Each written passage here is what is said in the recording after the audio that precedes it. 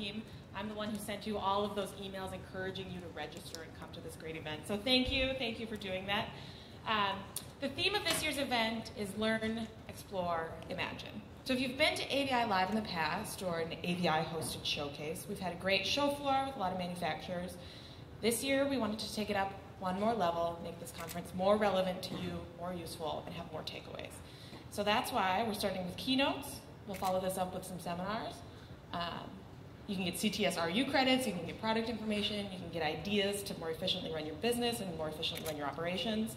Um, so we hope that you enjoy these seminars as, as much as we've enjoyed putting them together. If you have any feedback on anything that you've seen or you want to see more for next year, we are all ears. So anybody with an AVI logo on their, on their shirt, feel free to provide any feedback and let us know what else you're looking for. So our first keynote speaker is Brad Sousa, and he is our Chief Technology Officer at AVI Systems.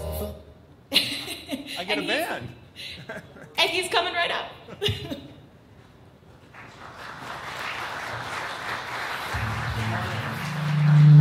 How are you this morning? You can hear me okay? Say, yeah, I can hear you okay. Yeah, I can hear you okay. All right. Well, I'm glad to be here with you this morning. So I'm Brad Sousa. I'm our Chief Technology Officer at AVI Systems. And before I spend time talking about what our keynote is this morning, which is around this topic of emerging techno uh, technology or emerging trends, I thought maybe I might just say a welcome to some important people that are in the room. So if you're an AVIer here this morning, you work for AVI, would you just raise your hand? You're not that important. I just want to let you know. The important people in the room, as much as I love you, and you know that I do, the important people in this room are really on both sides of AVI. On our left is our vendor partners that provide us great tools to work with on an everyday basis. And on the right are our customer partners that we get the privilege of joining and spending time solving some really important problems with them. And without our vendors giving us the tools to do it and our customers giving us permission to solve problems, we wouldn't be here. So if you're an AVIer, would you applaud both our customers and our vendors that are spending time with us today? Thank you for being with us. So the topic this morning is emerging trends. And every time I get it, I get, folks, I'll talk about this kind of stuff for, for hours because this is where I live and I'm passionate about what's happening in our industry. And I'll say to you right off the bat that I believe that this is the best time to be in the industry that we are in ever. And there's all sorts of reasons why now is the time to be in this whole visual communications, collaboration, AV space. Because for the first time, it's being consumed at a level that actually creates transformation and changes inside the companies that we support and it's a very, very different marketplace than what it's been in the past. And so you're going to figure out real quickly, I'm very passionate about what we do. And I happen to believe that what we do is very relevant to how people communicate together, how organizations uh, share ideas and come to decisions together. Everywhere I go, there's a discussion around, Brad, what do you see on the horizon? What's the next big app?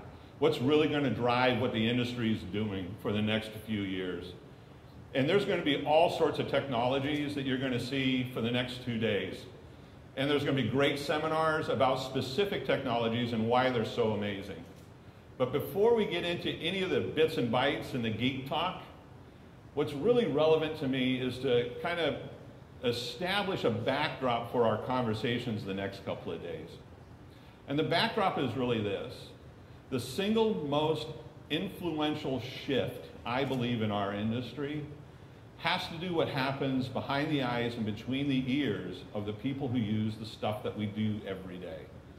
There's a big shift in how people, how humans are interacting with technology. And that shift is really fascinating. So I'm going to start by painting a backdrop. And this backdrop, I want to use a, a picture of something that's very unique. It's never happened before in the entire IT history. And this backdrop really sounds like this. For the first time, we have four or maybe five generations of people working in the same place, facing the same problems, trying to solve the same issues together. So in, in my company, in our company, AVI, it is very common for us to be in a meeting. I'm in a meeting with our chairman of the board And he would be what we call a traditional generation. I'm a baby boomer. Our CEO is a Gen Xer. Many of the staff that we have and team players are all in critical roles, and they're millennials. And how a traditional and a millennial looks at solving a problem or communicating together is wildly different. Let me give you an example of what I mean by this. So let's say, for the sake of conversation, AVI designs and delivers on a video conferencing or collaboration room for somebody. Now, we do that every day, right? But how a, a traditional, a Gen Xer, a boomer, a millennial looks at that technology in that room and what their human response to what I want to do in that space is very different generation to generation. So uh, a traditional will look at the technology, walk into that conference room with a pad of paper, look at that technology and say, why do I need to use it? A boomer will walk into that room like me, well maybe not like me, but somebody from my generation would walk into that room, and they look at that technology and they'd say, hey, you know what? I think I know what that can do for me. But I don't understand it, so I'm going to find a specialist to help me figure out how to dial that video call.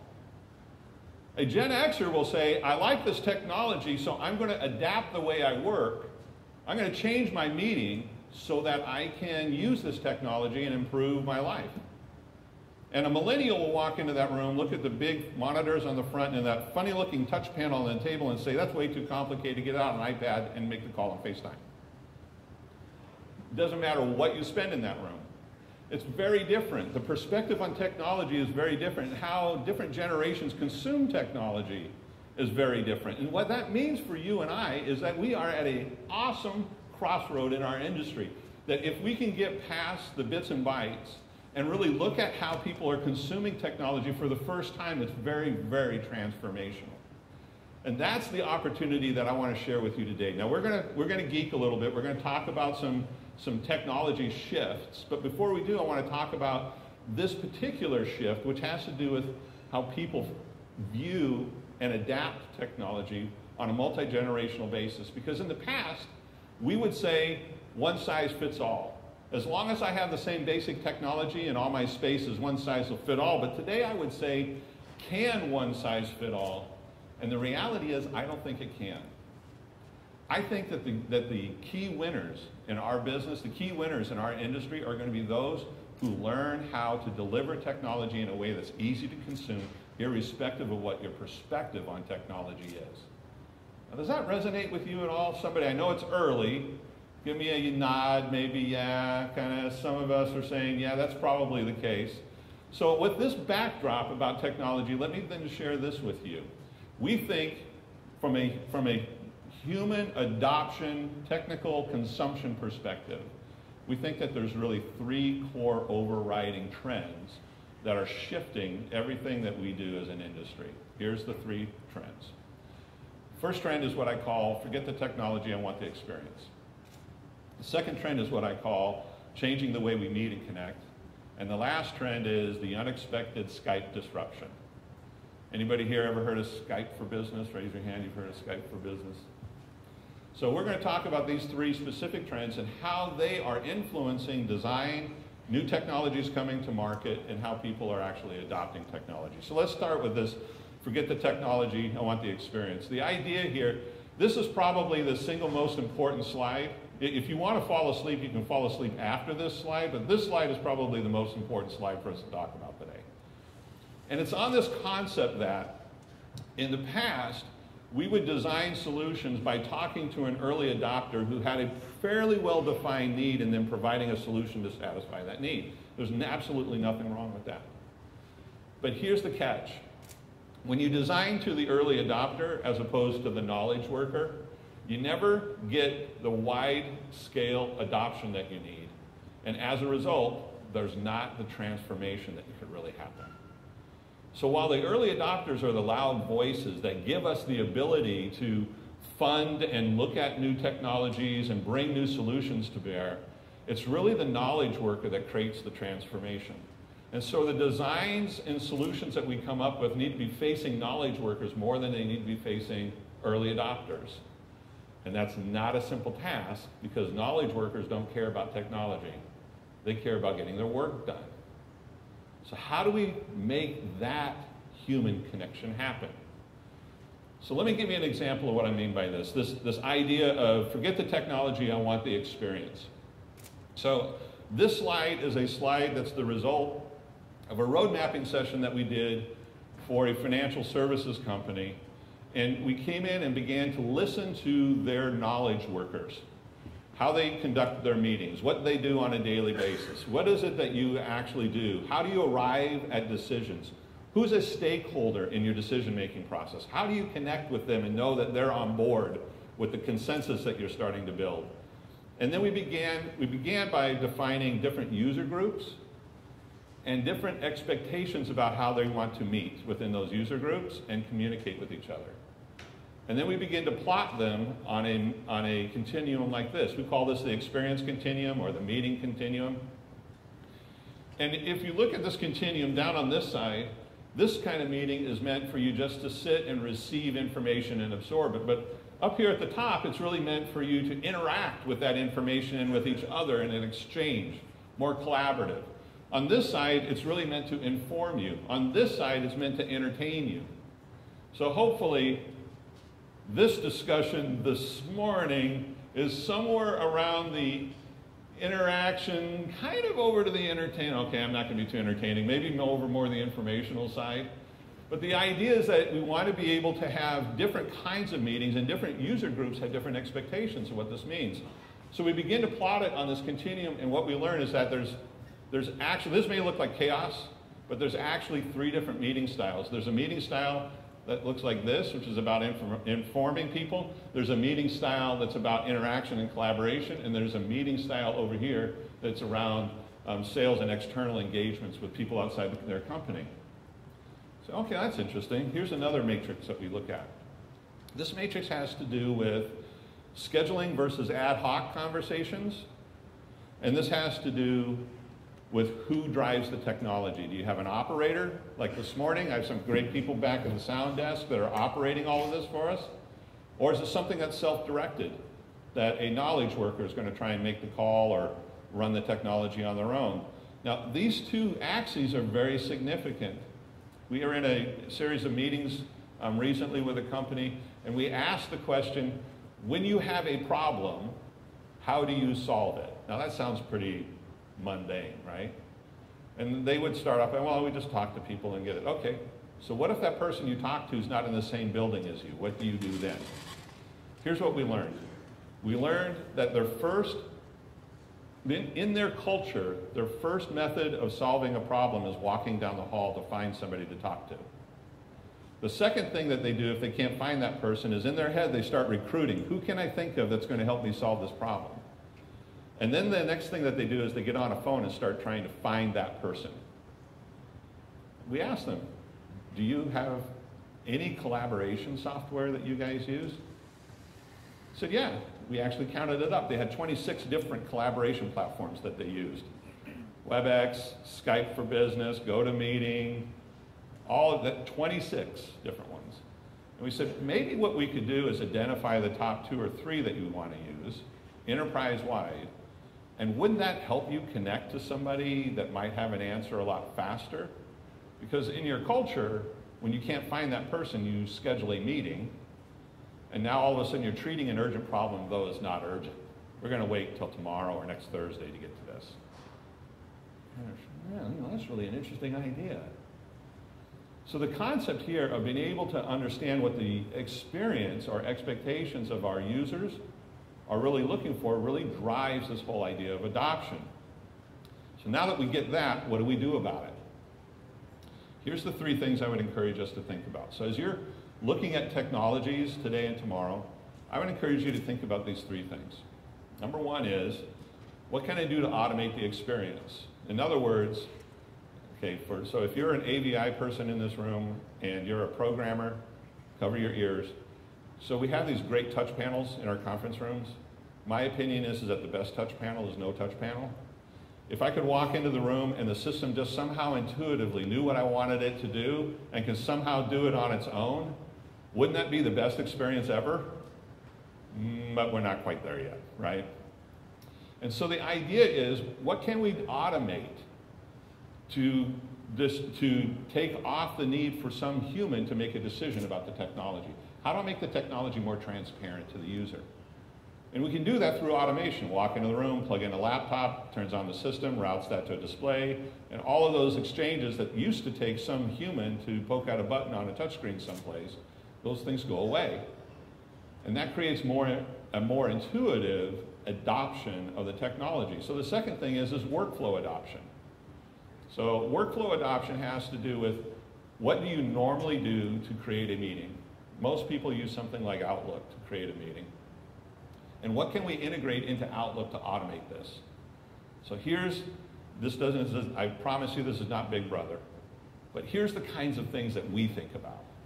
We think about things like Brad walks into a conference room, maybe there's a Bluetooth reader that recognizes my phone, my Bluetooth profile off my phone, or maybe I have a badge because I have to badge to get into the facility and I swipe my badge as I, as I run up next to the room and it recognizes who I am, plus all the other people in the room, and compares that to the meeting invite in exchange and says, so this is a meeting in this conference room that Brad reserved the room for, so Brad must be the host.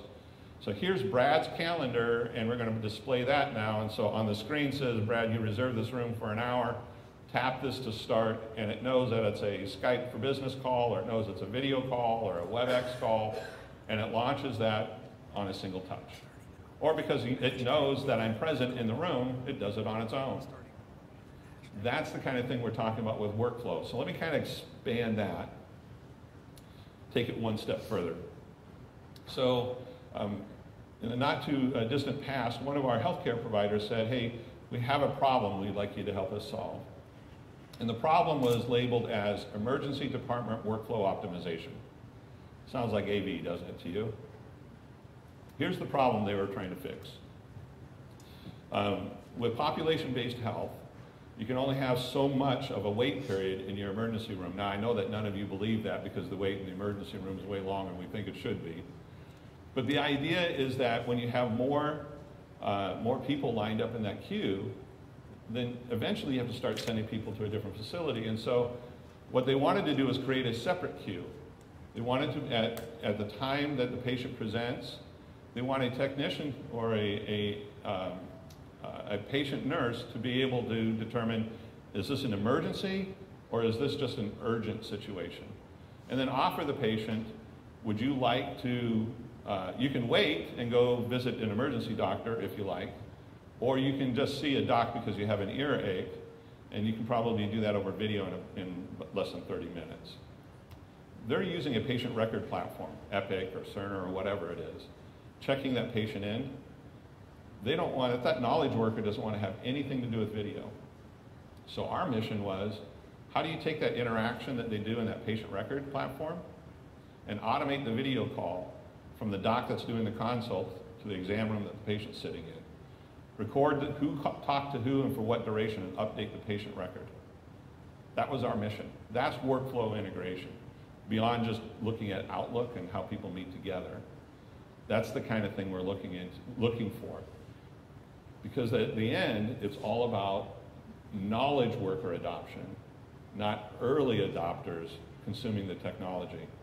Because when knowledge workers consume it, we can create a fundamental shift in how an organization goes about solving problems and working together.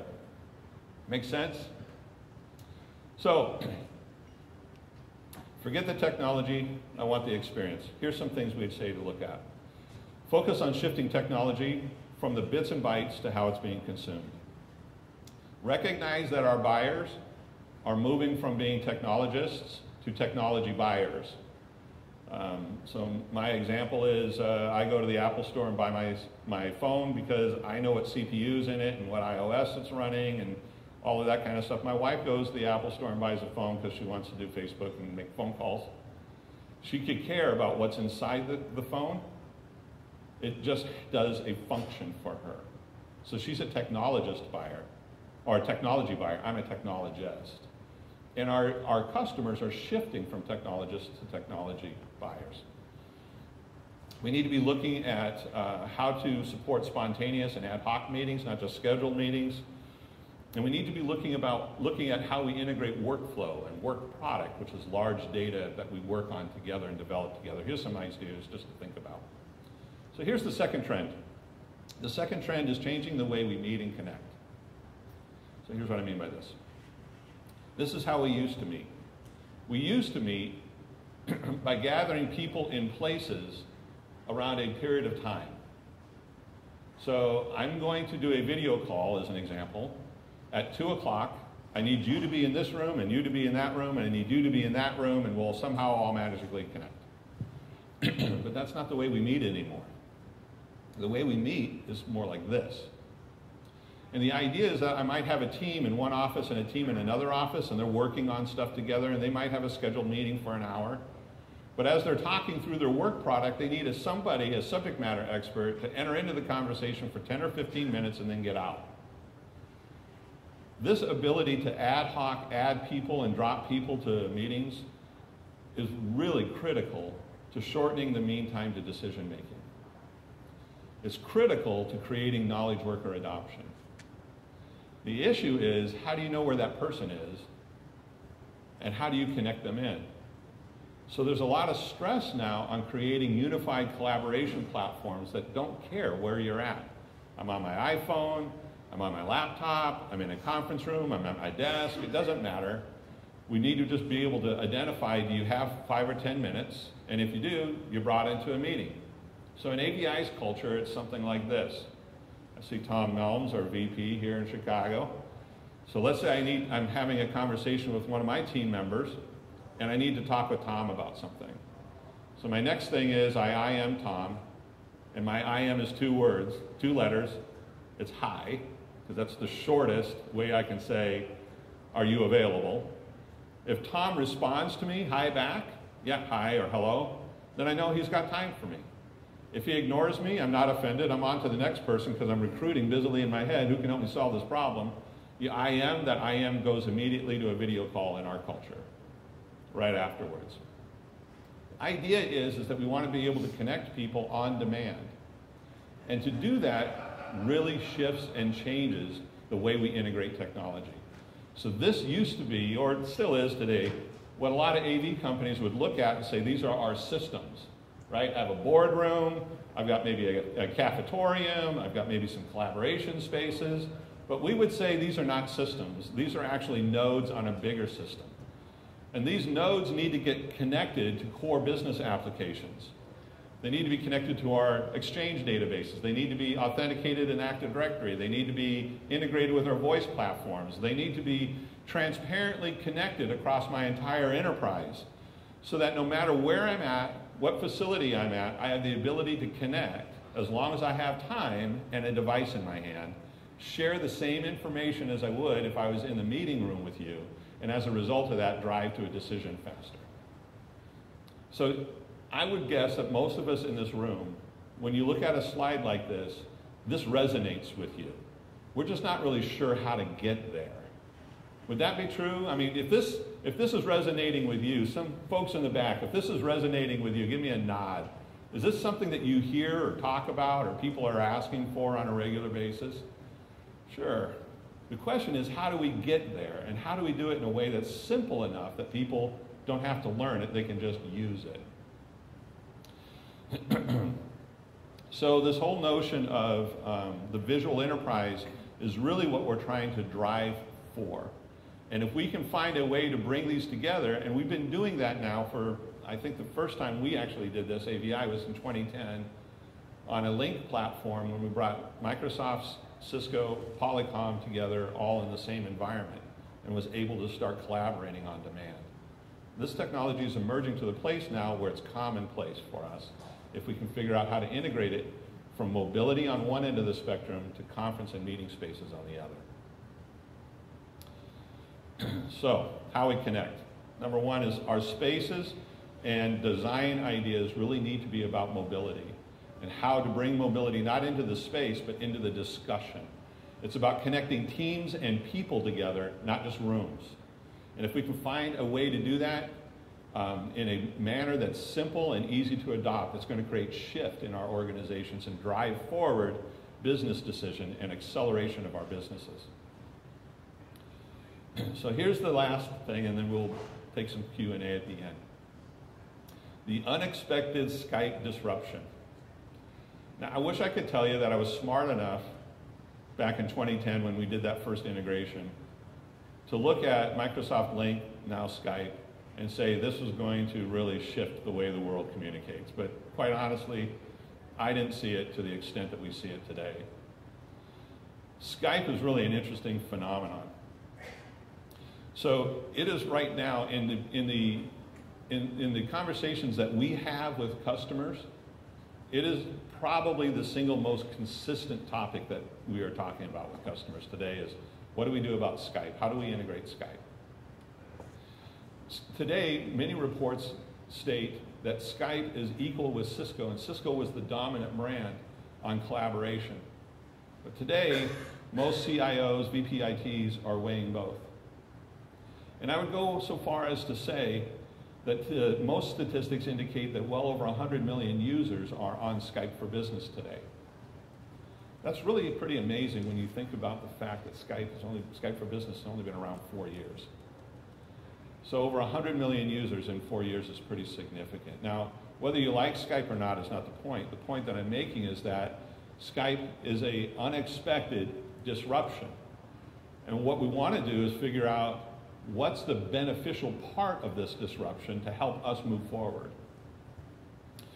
So we believe that Skype has been so significantly adopted for a number of things, but here's some of them. Number one is it's the first time it's democratized video. For years, the video conferencing industry, I'll say myself, have been talking about, man, when desktop video conferencing takes off, man, when desktop video conferencing takes off, you just watch out when desktop video conferencing takes off and it never took off. Why? Skype took it over. And it's democratized video.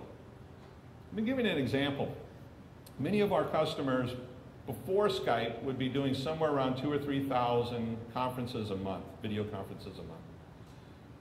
Skype plus video, 25, 30,000 conferences a month. An order of magnitude greater consumption. That's significant. It plays into this open workspace concept. It drives us away from just using appliance-based video conferencing to software-based video conferencing, which enables us to build small huddle and team spaces in a cost-effective way so that we can adapt to this open concept of, uh, of uh, office planning. So here's a drawing of how we see it often working. So in this particular case, what the end user wants to do as a knowledge worker is they want to just have a meeting, schedule a meeting using Outlook, and as a result of that, have people join the meeting irrespective of where they're at. So in this particular case, this particular customer has a Cisco UCM voice platform. They've got Skype in O365 in the cloud. They've got a um, version of a hybrid um, Active Directory environment, so they have some Microsoft on-prem, and they've got a Polycom video infrastructure.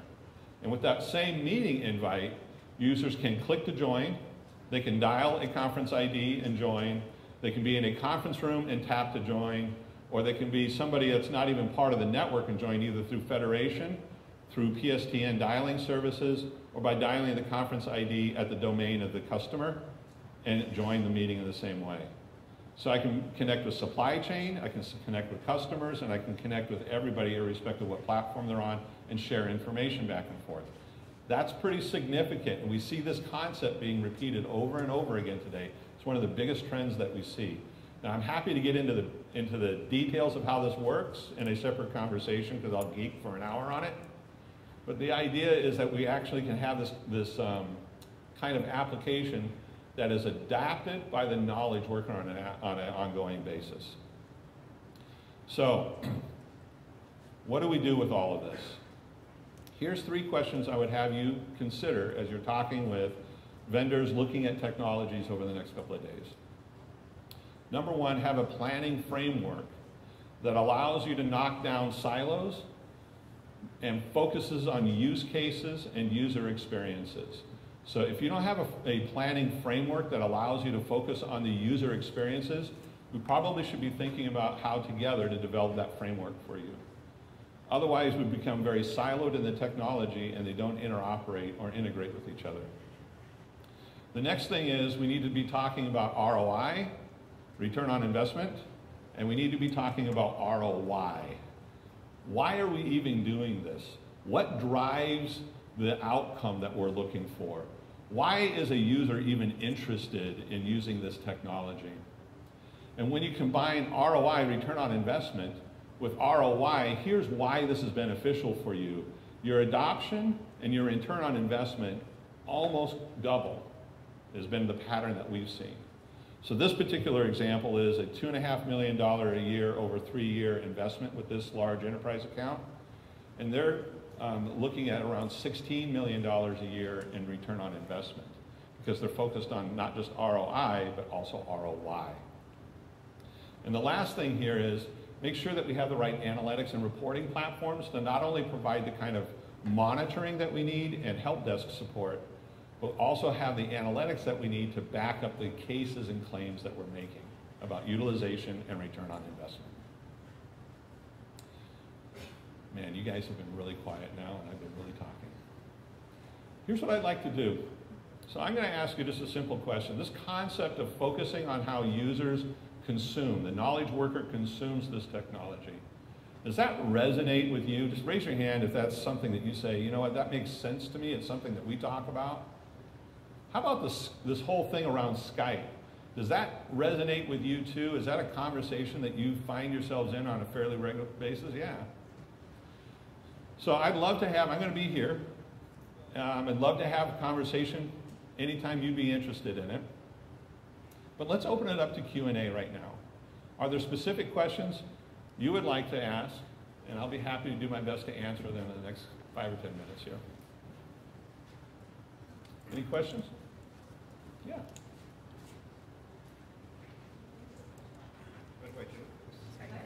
Hold it there and talk. You got it. All right.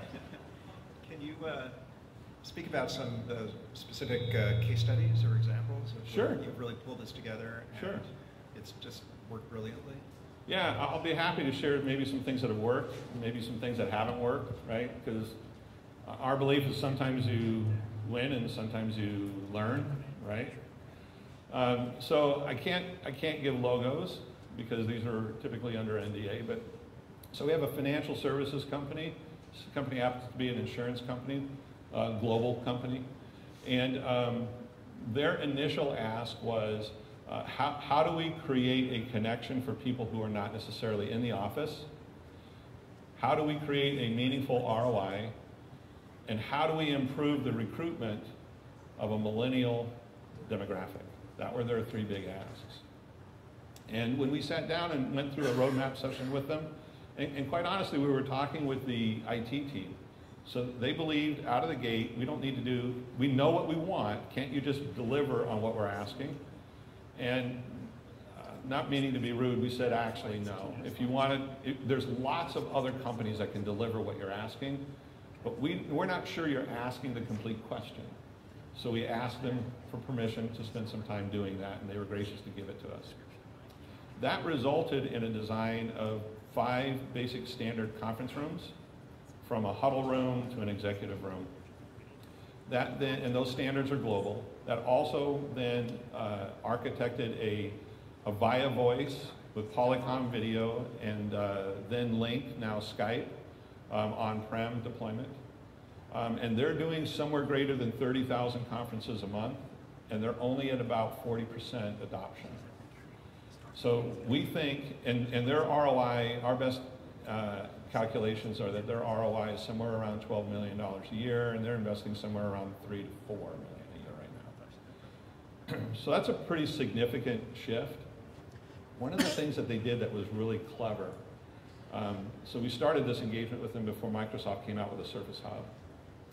And so they created with us a, uh, a proprietary skin that goes over the front of uh, some of their touch screens. And in some of their conference rooms, we don't have any codecs at all. They're just PCs that are operating. And you walk up, you see your calendar, you tap to start. The PC is locked down in a kiosk mode, so it functions as an appliance. And that tap to start thing was revolutionary to them. And for the more complex conference spaces, um, they don't have a typical kind of touch panel like you would I want this source to this display, or I want to get the video conferencing codec and dial this number. Um, there's a three-step wizard that they go through. What kind of meeting do you want to have? Is it just in this room or are you connected to others? Would this be the people you're trying to call? And you answer yes or no to those questions and it configures the room for them. Those kinds of changes seem may, maybe pretty subtle, but they've made huge, huge shifts in knowledge worker adoption. That's been a good case. We've had some really difficult challenges too. And one of the challenges um, happens to be around Skype, where Microsoft, we have Microsoft friends in this room, I want you to hear that I like you. Uh, Microsoft has done a really good job teaching their customers download it and install it yourself. And that's great unless you have a synchronous communication platform like voice or video. And so when you download it and build it yourself, that works until you get about 500 to 800 users. And then somewhere past that to 1,200 users, it starts really struggling. And so we really drive or recommend what's called the Skype Operations Framework to help um, streamline that a little bit better. And those customers that don't do that um, really struggle and it, it does not adopt as well. So there's a, there's a success and a failure. Thanks